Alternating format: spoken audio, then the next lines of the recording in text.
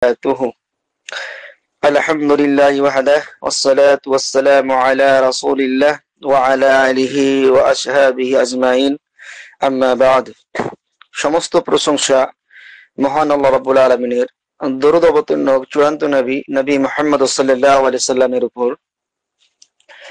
ভাই জাহিরুল ইসলাম Abu Dhabi থেকে তিনি জানতে চেয়েছেন যে বাড়িতে মহিলারা একত্রে জামাতবদ্ধ হয়ে সালাত আদায় করা ওয়াজিব কিনা এবং কীভাবে জামাতবদ্ধ হয়ে দাঁড়াবে উত্তর দিয়ে উপকৃত করবেন।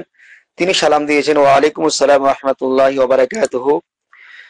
জি ভাই এক্ষেত্রে বাড়িতে মহিলারা একত্রে জামাত হয়ে সালাত আদায় করা ওয়াজিব কিনা? জি, এটা ওয়াজিব নয়। এটা ওয়াজিব নয়। মহিলারা তারা বাড়িতে নামাজ পড়াটাই তাদের জন্য উত্তম। কেউ যদি মসজিদে আসার চেষ্টা করে বা মসজিদে আসে, তাহলে সেখানে বারণও করা যাবে না, নিষেধ করা যাবে না। কারণ নবী সাল্লাম তিনি বলেছেন আল্লাহ মাসাজিদ হুন্না সাল্লাম বলেছেন, আল্লাহর বান্দীদেরকে তোমরা মসজিদে আসতে বাধা দিও না। যদি মহিলারা মসজিদে নামাজ পড়ার জন্য আসে, তাহলে তারাকে বাধা দিতে হবে না। এবং তাদেরকে হুন্না এবং তাদের জন্য বাড়িটাই হচ্ছে সব থেকে শ্রেষ্ঠ এবং ভালো জায়গা সলাত আদায়ের জন্য।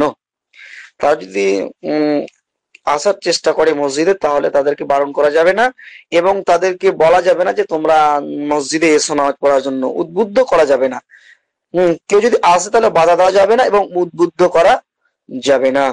অবয়ুতেহীন না খয়রান হন না কারণ তাদের জন্য সব থেকে বেস্ট সব থেকে ভালো হচ্ছে বাড়িটা।